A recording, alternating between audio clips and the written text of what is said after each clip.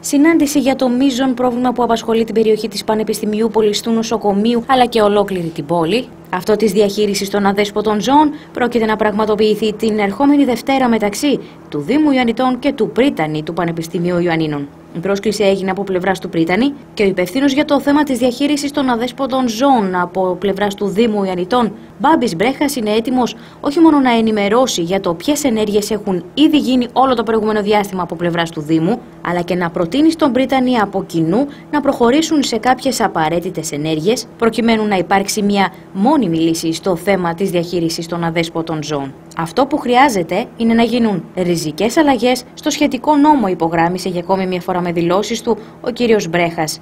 Τονίζοντας πως προς αυτή την κατεύθυνση θα πρέπει από κοινού να κινηθούν με το Πανεπιστήμιο. Έχουμε ένα ραντεβού με τον κύριο Πρίτανη, όπου θα συζητήσουμε το θέμα που απασχολεί το Πανεπιστήμιο και το νοσοκομείο. Είναι κάτι το οποίο επανειλημμένα έχει γίνει και θεωρώ ότι μια τέτοια σύσκεψη θα δώσει τα αποτελέσματα, τις απαντήσεις, τις οποίες και εμείς χρειαζόμαστε από εκείνον, αλλά και ο κύριος Πρίτανης χρειάζεται από εμά. Θεωρώ ότι είναι προς την θετική κατεύθυνση αυτή η εξέλιξη, διότι θα ξαναδούμε το θέμα.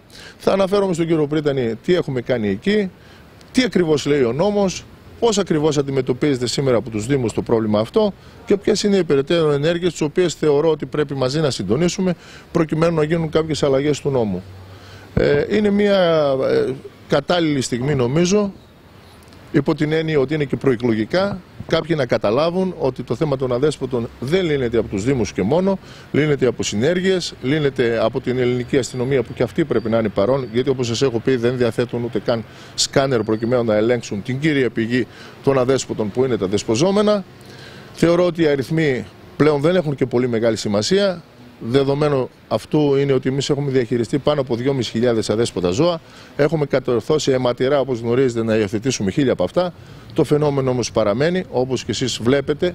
Πολίτες αυτής της πόλης είσαστε και θα πρέπει να γίνουν ριζικές αλλαγές ε, πάνω στον νόμο.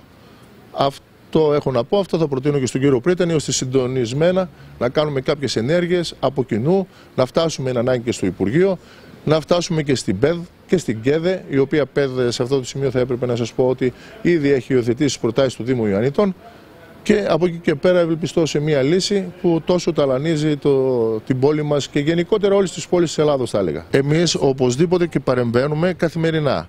Παράδειγμα θα σας πω, όσοι συμπολίτες μας έχουν προβλήματα με δαγκώματα ζώων, πηγαίνουν στο γραφείο του Δήμου, έρχεται από την περιφέρεια το αίτημά τους να ελέγξουμε το ζώο ώστε να τους απαντήσουμε για το αν είναι καλά ή όχι. Εμείς συνεχίζουμε την προσπάθειά μας, συνεχίζουμε τις στηρώσεις, συνεχίζουμε την προσπάθεια της υιοθεσίας. Θεωρώ όμως ότι όλα αυτά θα, δεν μπορούν να δώσουν το, το βέλτιστο αποτέλεσμα και θα πρέπει να αλλάξει ο νόμος. Είναι επιτακτικό να αλλάξει ο νόμος, δεδομένου ότι ένα καταφύγιο όπως είναι το δικό μας έχει στοιχήσει 600.000 ευρώ.